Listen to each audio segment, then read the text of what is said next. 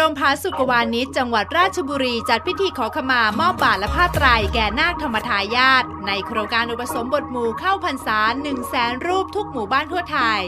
ผู้นำบุญภาคตะวันออกวัดพระธรรมกายจะสัมมนารวมใจหล่อทองคำหลวงปู่ พระผู้ปราบมารองค์ที่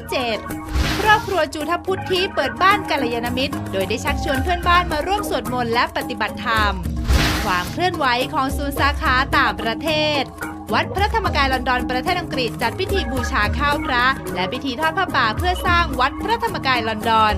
ด้านวัดพระธรรมกายเซียเติลประเทศสหรัฐอเมริกาจัดพิธีบูชาข้าวพระ และพิธีถวายทิพยบุคคามาลา ติดตามได้ในข่าว DMC News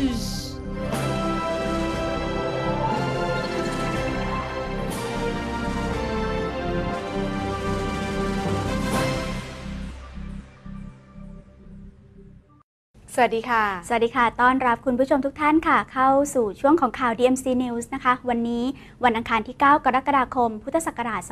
2556 ค่ะ ค่ะ สวัสดีคุณผู้ชมนะคะ ทางสถานีวิทยุโทรทัศน์ DMC ค่ะ รวมถึงนะคะทางคลื่นวิทยุ FM 102.25 MHz และ AM 1521 kHz ในช่วงนี้นะคะ มีคุณปริชาแซ่เฮและดิฉันกิกนกดวงพรมนทนค่ะค่ะ และช่วงนี้เราก็มีข่าวสารในแวดวงพระพุทธศาสนา มาฝากคุณผู้ชมเช่นเคยนะคะ เริ่มกันที่ข่าวแรกค่ะสำนักงานพระพุทธศาสนาแห่งชาติเตรียมจัดพิธีทรงตั้งเปลี่ยนธรรมสามประโยค แก่คณะสงฆ์หนใต้ในวันที่ 11 กรกฎาคมนี้ค่ะนายธีรยุทธ์เอี่ยมตระกูล ผู้ว่าราชการจังหวัดตรัง เปิดเผยว่า การจัดพิธีทรงตั้งปรริยนธรรมสามประโยค เป็นพระราชประเพณีที่พระเจ้าแผ่นดิน ทรงตั้งปรริยนธรรมถวายพระพิสุสามเณรที่มีความรู้ความสามารถสอบไล่ได้ ตามหลักสูตรการสอบบาลีสนามหลวง อีกประการหนึ่งก็เพื่อเป็นการทำนุบำรุงพระพุทธศาสนาให้เจริญรุ่งเรืองต่อไป และเนื่องในพระราชพิธีทรงบำเพ็ญพระราชกุศลวิสาขาบูชา พระบาทสมเด็จพระเจ้าอยู่หัว ทรงพระกรุณาโปรดเกล้าโปรดกระหม่อม ให้สมเด็จพระบรมโอรสาธิราช สยามกุฎราชกุมาร เสด็จพระราชดำเนินแทนพระองค์ ประกอบพิธีทรงตั้งประเรียนธรรม 9 ประโยค และประเรียนธรรม 6 ประโยค ประจำปี 2556 รวมทั้งสิ้น 223 รูป ณ พระอุโบสถวัดพระศรีรัตนศาสดาราม สำหรับประเรียนธรรม3ประโยค ทรงพระกรุณาโปรดเกล้าโปรดกระหม่อม พระราชทานถวายสมเด็จพระญาณสังวร สมเด็จพระสังฆราช สกลมหาสังฆปรินายก เสด็จแทนพระองค์ไปทรงตั้งประเรียนธรรม3ประโยคต่อไป ซึ่งในเขตปกครองคณะสงฆ์หนใต้กำหนดให้สมเด็จพระมหารัชมังคลาจารย์ กรรมการมหาเถรสมาคม และแม่กองธรรมบาลีสนามหลวง เป็นประธานในพิธีทรงตั้งประเรียนธรรมสามประโยค แก่พระพิสุสามเณรในเขตปกครองคณะสงฆ์หนใต้ณวัดกับพังสุรินอำเภอเมืองจังหวัดตรัง ในวันพฤหัสบดีที่ 11 กรกฎาคมนี้ เริ่มตั้งแต่เวลา 13นาฬิกา30 นาทีค่ะ ทางด้านศูนย์อบรมเยาวชนผาสุกวนิชจังหวัดราชบุรีค่ะ ก็ได้จัดพิธีขอขมามอบบาทและผ้าไตรแด่นาคธรรมทายาทในโครงการอุปสมบทหมู่เข้าพรรษา 1 0 0 0 0แสนรูปทุกหมู่บ้านทั่วไทยค่ะสำหรับพิธีกรรมเริ่มโดยคณะเจ้าภาพ นาคธรรมทายาทบิดามารดาและผู้ปกครองรวมถึงศรัทธาสาธุชน ได้พร้อมใจกันร่วมขบวนเวียนประทักษิณเพื่อให้เหล่านาคธรรมทายาทได้ตรึกระลึกนึกถึงคุณของพระรัตนตรยัยและกล่อมเกลาจิตใจเหล่านาคธรรมทายาททุกท่าน ที่ได้สละความสุขทางโลก มาบวชทดแทนคุณบิดามารดาในครั้งนี้ จากนั้นได้รับความเมตตาจากพระครูประหลัดทวีพรหมเทโว ท่านประธานสงฆ์นำบูชาพระรัตนตรยัย ก่อนที่จะประกอบพิธีกล่าวคำแสดงตนเป็นพุทธมามกะ พิธีอาราธนาศีลห้าพิธีวันทาสีมา พิธีขอขมา และพิธีรับพระไตรยคุณธรรมจากคณะเจ้าภาพ โดยมีนาคธรรมทายาทได้รับพระไตรยคุณธรรม 5 ท่าน ซึ่งได้รับการคัดเลือกจากพระอาจารย์ ในเรื่องคุณธรรมด้านต่างๆ จากนั้นเป็นพิธีทอดพระป่าสามัคคี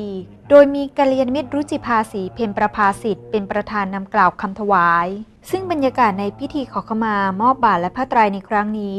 ได้สร้างความปราบปลื้มปิติใจเป็นอย่างยิ่ง ให้แก่นาคธรรมทายาทรวมทั้งพ่อแม่ผู้ปกครองและญาติมิตรทุกท่าน ที่ได้มาร่วมอนุโมทนาบุญในครั้งนี้ และได้กล่าวเป็นเสียงเดียวกันว่ารู้สึกตื่นเต้นและปลื้มใจ ที่ได้เห็นบุตรหลานของตนตัดสินใจบวช พร้อมที่จะก้าวเข้าสู่ร่มกาสาวพัฒเป็นสาวกของพระสัมมาสัมพุทธเจ้า และจะได้บำเพ็ญสมณธรรมต่อไปด้วยค่ะมันใหญ่วันนี้ได้บุญเยอะเลยค่ะ บุญใหญ่มากเลยค่ะ วันนี้คนก็เยอะค่ะ แล้วก็สถานที่ก็แบบร่มรื่นมีแม่น้ำมีอะไรหาได้ปล่อยปลาด้วยอะไรเงี้ยแบบมันปลื้มเป็นจนไม่รู้จะบรรยายเป็นคำพูดยังไงประทับใจมากๆเลยค่ะ ไปกันเป็นหมู่คณะ แล้วก็มีการไปเจอผู้ชายแมนๆแล้วก็จะฝักมือเรียกแม้แต่กระทั่งรถ แล้วก็ในบ้านตามไปตามบ้านแล้วก็ตามในไร่นะคะปลื้มใจนะคะแล้วก็นึกถึงพระเดชพระคุณหลวงปู่ด้วย ที่ท่านอ่อและพระเดชพระคุณหลวงพ่อ เหมือนกับว่าท่านได้ไปกับพวกเรานะคะนะคะก็มีความรู้สึกว่าเราไม่มีความเหน็ดเหนื่อยเลย รู้สึกว่าปลื้มใจกันทุกคน วันนี้ก็ได้พาบุตรชายนะครับ ได้มาบวชเรียนที่นี่เพราะว่า ประทับใจกับเรื่องของเรื่องของระเบียบวินัยนะครับ แล้วก็บวชแล้วได้อะไรไปจริง ๆนะครับ เอาไปใช้กับชีวิตประจำวัน เอาไปใช้กับชีวิตในครอบครัว หรือการปฏิบัติภารกิจต่างๆ ในในชีวิตได้เลยนะครับ ถือว่าสถานที่ที่นี้เนี่ยศักดิ์สิทธิ์นะครับแล้วก็ ผลบุญนะครับที่ได้ที่ได้เคยทำมาเนี่ยมันเห็นจริง ๆนะครับ แล้วก็เปลี่ยนแปลงชีวิตของผมและก็ครอบครัวมากนะครับ เพราะฉะนั้นอยากจะเชิญชวนนะครับทุกท่านนะครับ ให้นำนำบุตรหลานนะครับที่อยู่ในวัยบวชเรียนนะครับ ได้เข้ามาเรียนรู้ในสถานที่นี้นะครับ เพราะว่าไม่ผิดหวังแน่นอนครับ เราไปปลื้มปิติและอนุโมทนาบุญกันต่อนะคะ กับบรรยากาศการเข้าอบรมค่ะ ที่วัดไซใหญ่จังหวัดนนทบุรีก็ได้จัดพิธีตัดปลอยผม ปลงผมนาคธรรมทายาทในโครงการอุปสมบทหมู่เข้าพรรษา1 0 0 0 0แสนรูปทุกหมู่บ้านทั่วไทยค่ะวัดไซใหญ่ อำเภอไซน้อย จังหวัดนนทบุรี ซึ่งเป็นศูนย์อบรมพระในโครงการอุปสมบทหมู่เข้าพรรษา1 0 0 0 0แสนรูปทุกหมู่บ้านทั่วไทย ได้จัดพิธีตัดปลอยผมและปลงผมธรรมทายาท โดยได้รับความเมตตาจากพระครูวิสุทธินนทคุณ เจ้าคณะอำเภอไซน้อย เจ้าอาวาสวัดไซใหญ่เป็นประธานสงฆ์และได้รับเกียรติจากนายวิเชียนพุทธิวินยู ผู้ว่าราชการจังหวัดนนทบุรีเป็นประธานฝ่ายคารวาสนอกจากนี้ยังได้รับเกียรติจากนายจารุวัฒน์เกลี้ยงเกลาในอำเภอไซน้อยเป็นผู้กล่าวรายงาน นายสมฤทธิ์ด้วงสโหนนายกเทศมนตรี เทศบาลตำบลไซน้อย เป็นตัวแทนนำกล่าวคำแสดงตนเป็นพุทธมามกะ ส่วนดรชูชาติ การจนะธนชัย ผู้อำนวยการสำนักงานเขตพื้นที่การศึกษาประถมศึกษานนทบุรีเขต 2 มอบรางวัลแด่ผู้อำนวยการสถานศึกษา ที่ส่งเสริมการจัดโครงการอุปสมบทหมู่1 0 0 0 0แสนรูปรุ่นเข้าพรรษา ซึ่งในโอกาสนี้ ท่านประธานสงฆ์ได้กล่าวให้โอวาทแก่นาคธรรมทายาทว่าขอให้ทุกท่านใช้เวลาทั้งหมดที่เข้าร่วมโครงการ ฝึกฝนอบรมตนเอง เรียนรู้คำสอนของพระสัมมาสัมพุทธเจ้า เพราะทุกท่านที่ได้เข้าร่วมบวชในโครงการนี้ ถือว่าเป็นผู้มีบุญมาก จากนั้นเป็นพิธีแห่นาคธรรมทายาทรอบเมือง ซึ่งได้รับความสนใจจากสาธุชนที่พบเห็นเป็นอย่างมาก เพราะถือเป็นขบวนแห่นาคที่ยิ่งใหญ่และศักดิ์สิทธิ์ทางด้านผู้นำบุญภาคตะวันออกนะคะ ก็ได้จัดสัมมนารวมใจหล่อทองคำพระมงคลเทพมุนีสดจันทสโร พระผู้ปราบมารองค์ที่ 7 ที่วัดพระธรรมกายจังหวัดปทุมธานีค่ะ ทางด้านผู้ประสานงานและผู้นำบุญภาคตะวันออกกว่า 500 ท่าน ได้รวมใจสัมมนาหล่อทองคำพระเดชพระคุณพระมงคลเทพมุนีสดจันทสโร พระผู้ปราบมารองค์ที่ 7 ณ ห้องสัมมนา SPD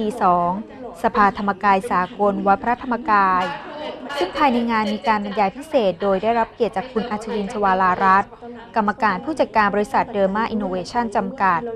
นักธุรกิจหนุ่มวัย 25 ปี เท่าแก่วัยกระดอ ที่มีความสำเร็จล้วนเกิดจากบุญทั้งสิ้น พร้อมด้วยกัลยาณมิตรมารินีสุวรรณพิทักษ์หรือครูหมู ตัวแทนลูกพระธรรมเมืองระยอง และกาเลียนมิตรสุปันนาปิ่นมรกตหญิงใจเด็ดแห่งจังหวัดชนบุรี ได้มาถ่ายทอดประสบการณ์และอนุภาพแห่งบุญที่ได้เกิดขึ้นกับตนเอง ให้ผู้เข้าร่วมสัมมนาได้ร่วมอนุโมทนาบุญกันด้วยค่ะ และภายหลังจบการสัมมนาผู้นำบุญทุกท่านต่างมีใจเป็นหนึ่งเดียวกัน คือการหล่อหลวงปู่ทองคำให้สำเร็จ เพื่อให้ได้มาร่วมบุญใหญ่ไปพร้อม ๆ กันค่ะค่ะก็อยากจะเชิญชวนนะคะ เนื่องในโอกาสที่พระเดชพระคุณหลวงพ่อนะคะ อายุครบ 70 ปีนะคะ ซึ่งเป็นปีที่มีความสำคัญมากนะคะ ที่เราจะร่วมกันเอาบุญใหญ่กับพระเดชพระคุณหลวงพ่อนะคะ โดยการร่วมกันนะคะหล่อทองนะคะ หลวงปู่องค์ที่ 7สำเร็จทุกอย่าง ซึ่งโครงการนี้นะคะถือว่าเป็นบุญอันสูงสุดนะคะ ที่พวกเราทุกคนจะต้องมีส่วนร่วมในการที่จะเอาบุญใหญ่กับพระเดชพระคุณหลวงพ่อครั้งนี้ อยากจะขอเชิญชวนนะครับลูกพระธรรมทั่วโลกนะครับผมมาร่วมกอบกู้พระพุทธศาสนาด้วยกันนะครับ ด้วยการหล่อหลวงปู่ทองคำองค์ที่ 7สำเร็จทุกอย่างนะครับผมหลวงปู่องค์นี้นะครับผมจะช่วยประกาศนะครับ วิชาธรรมกายไปทั่วโลกนะครับ องค์นี้จะเป็นองค์ที่ใช้เดินทุดงค์ธรรมชัยในทุกๆงานนะครับ เรียกว่าหล่อองค์นี้นะครับ บุญของทุกทุกๆท่านนะครับ จะประกาศไปทุกเส้นทางของทุดงธรรมชัยนะครับ ผมรีบมาช่วยการกอบกู้พระศาสนานะครับ ผมองค์สุดท้ายท้ายสุดของเรานะครับทำให้เต็มที่นะครับ องค์ที่ 7สำเร็จทุกอย่าง พุทธศาสตร์มหาบัณฑิตสถาบันธรรมชัยค่ะ ได้จัดสัมมนาบรรยายพิเศษปัญหาความเสื่อมถอยของพระพุทธศาสนาเอเชีย ณห้องสัมมนา SPD 3 สภาธรรมกายสากล วัดพระธรรมกาย จังหวัดปทุมธานี พุทธศาสตร์มหาบัณฑิตสถาบันธรรมชัย ได้จัดงานสัมมนาบรรยายพิเศษเรื่อง ปัญหาความเสื่อมถอยของพระพุทธศาสนาเอเชีย ให้กับพระนิสิตนักศึกษา และสาธุชนที่เข้าร่วมงานกว่า 50 ท่าน ในโอกาสนี้ได้รับความเมตตาจากพระมหาด็อกเตอร์สมชายฐานาวุฒโธ ผู้ช่วยเจ้าอาวาสวัดพระธรรมกายเป็นประธานสงฆ์ และเป็นพระวิทยากรบรรยายพิเศษ ซึ่งท่านได้กล่าวว่า ศาสนาพุทธที่กระจายอยู่ตามประเทศต่างๆ ในเอเชียที่เสื่อมถอยมีหลายปัจจัย ขึ้นอยู่กับการปกครอง กฎหมายในแต่ละประเทศ ขนบธรรมเนียมประเพณี อุดมการณ์และการบริหารจัดการพระพุทธศาสนา ซึ่งถ้ามองโดยภาพรวม พระพุทธศาสนาจะเจริญรุ่งเรืองได้นั้น บุคลากรต้องมีอุดมการไปในทิศทางเดียวกัน มีเป้าหมายที่ชัดเจน และที่สำคัญผู้นำต้องเข้มแข็ง มีระบบการจัดการที่ดี บริหารทรัพยากร เรื่องการเงิน เรื่องทุน ทีมงานและสถานที่ให้สอดคล้องกับภาวะความเปลี่ยนแปลงในประเทศของตน ตรวจสอบสภาพแวดล้อมทั้งภายในและภายนอกในการบริหาร และปรับการจัดการให้ทันต่อสังคมที่เปลี่ยนแปลง ก็จะสามารถที่จะฟื้นฟูพระพุทธศาสนาได้ และในการสัมมนาในครั้งนี้ ท่านประธานสงฆ์ได้ยกตัวอย่างประเด็นของแต่ละประเทศ ที่ทำให้พระพุทธศาสนาเสื่อมถอยและเจริญรุ่งเรือง ให้พระนิสิตนักศึกษาได้เป็นกรณีศึกษา สร้างความปราบปลื้มปิติยินดีให้กับทุกคนที่เข้าร่วมสัมมนาเป็นอย่างมากค่ะ ทางด้านครอบครัวจุฑาพุทธีนะคะ ก็ได้เปิดบ้านของตนเองเป็นบ้านกัลยาณมิตร โดยได้ชักชวนเพื่อนบ้านและก็บุคคลใกล้เคียงให้มาร่วมกันนั่งสมาธิปฏิบัติธรรมค่ะ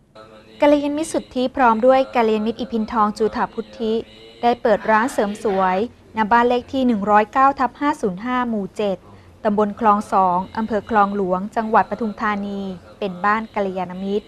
โดยได้เชิญชวนเพื่อนบ้านให้มาร่วมการปฏิบัติธรรมและนั่งสมาธิ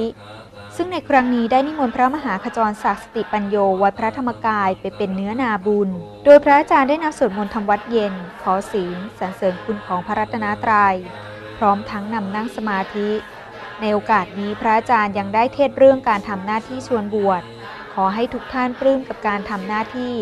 เพราะจากการทำหน้าที่ในครั้งนี้ทำให้เราได้ศาสนาทายาทในพระพุทธศาสนาเพิ่มมากขึ้น ซึ่งถือเป็นการสืบทอดอายุพระพุทธศาสนาสืบต่อไป ด้านเจ้าของบ้านกัลยาณมิตรได้กล่าวว่า ที่ตัดสินใจเปิดบ้านกัลยาณมิตร เพราะว่าอยากให้เป็นตัวอย่างให้แก่คนอื่นได้พบเห็น ซึ่งจะทำให้ชาวบ้านในหมู่บ้านนี้ศรัทธาและเลื่อมใสในพระพุทธศาสนามากยิ่งขึ้น และที่สำคัญทำให้จิตใจของเราผ่องใสเป็นบุญกุศล และเป็นการสืบทอดอายุพระพุทธศาสนา ซึ่งเพื่อนกัลยาณมิตรที่ได้มาร่วมปฏิบัติธรรมทุกท่านต่างประทับใจกับกิจกรรม รวมทั้งธรรมะที่พระอาจารย์ได้เทศสอน ซึ่งตั้งใจจะปฏิบัติธรรมทุกวันพฤหัสบดีค่ะ เราจะไปติดตามข่าวสารงานบุญที่ต่างประเทศค่ะ ซึ่งผู้มีบุญทางนั้นนะคะ ก็ได้จัดกิจกรรมงานบุญอย่างตลอดต่อเนื่องค่ะ โดยในวันนี้เราจะไปร่วมชื่นชมและอนุโมทนาบุญนะคะ กับกิจกรรมงานบุญของศูนย์สาขาโซนยุโรป ที่วัดพระธรรมกายลอนดอน ประเทศอังกฤษ และที่โซนอเมริกา วัดพระธรรมกายซีแอตเทิลติดตามได้ใน World News ค่ะ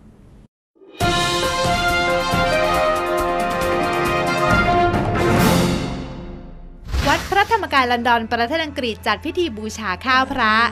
สำหรับพิธีกรรมเริ่มขึ้นโดยสาธุชนผู้มีบุญทุกท่านได้ร่วมกันนั่งสมาธิกลั่นใจให้ใสตามเสียงของพระเดชพระคุณพระเทพยานมหามุนี ไปพร้อมๆ กันทั่วโลก ผ่านสัญญาณถ่ายทอดสดช่อง DMC เมื่อเสร็จพิธีบูชาข้าวพระแล้วเป็นการตั้งริ้วขบวนเพื่ออัญเชิญผ้าไตร โดยเวียนประทักษิณรอบพระอุโบสถ จากนั้นเด็กหญิงเจนภา และเด็กหญิงแสนดีมหาดำรงกุล เป็นตัวแทนนำกล่าวคำถวายผ้าป่า เพื่อสร้างวัดพระธรรมกายลอนดอน ส่วนพิธีกล่าวคำถวายเตาหุงต้ม มีกัลยาณมิตรราชกิจบุญรอดพาณิชย์นำกล่าวคำถวาย และในโอกาสนี้สาธุชนทุกท่านได้ร่วมกันอนุโมทนาบุญกับกัลยาณมิตรกันนิกาพาร์เกอร์ ในการกล่าวคำถวายทองคำร่วมบุญหล่อรูปเหมือนหลวงปู่ทองคำ ต่อด้วยพิธีกล่าวคำถวายภัตตาหารเป็นสังฆทาน โดยกัลยาณมิตรสมพิษการ์ดเนอร์นำกล่าวคำถวาย ต่อด้วยกัลยาณมิตรเจนแอฟดอนได้กล่าวคำขอขมาแด่คณะสงฆ์และญาติมิตร เพื่อเตรียมอุปสมบทเป็นพระภิกษุในพระพุทธศาสนา ในโครงการ IDOP ที่ประเทศไทยเป็นเวลา 3 เดือน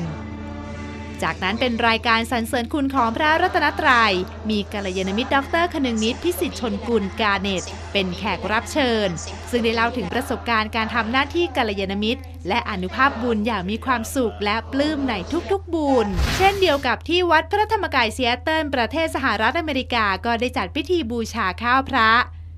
ภายในงานพระอาจารย์ได้มอบแผ่นเทียนพรรษาแก่สาธุชน เพื่อนำไปอธิษฐานจิตที่บ้าน และนำมาหล่อเทียนพรรษาในวันอาทิตย์ที่ 14 กรกฎาคมนี้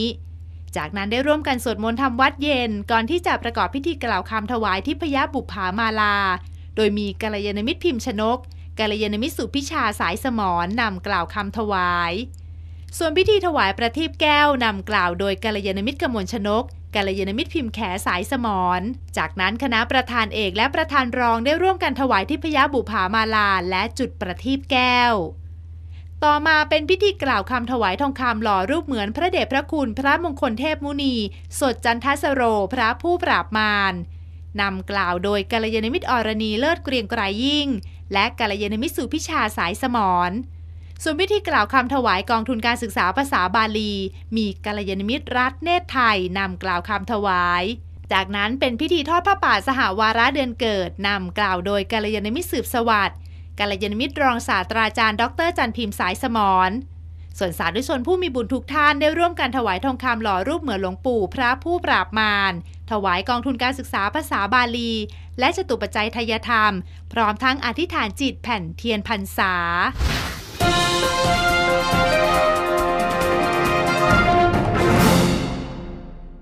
ต้องขออนุโมทนาบุญกับทุกท่านด้วยนะคะ และในช่วงนี้ก็ใกล้กับเทศกาลเข้าพรรษาแล้วนะคะค่ะทางด้านจังหวัดสระบุรีค่ะ ก็ได้มีการตักบาตรดอกไม้ขึ้นเป็นประจำในทุกๆ ปีนะคะ ก็ขอเชิญชวนค่ะ ในปีนี้ตรงกับวันอาทิตย์ที่ 21 กรกฎาคม พุทธศักราช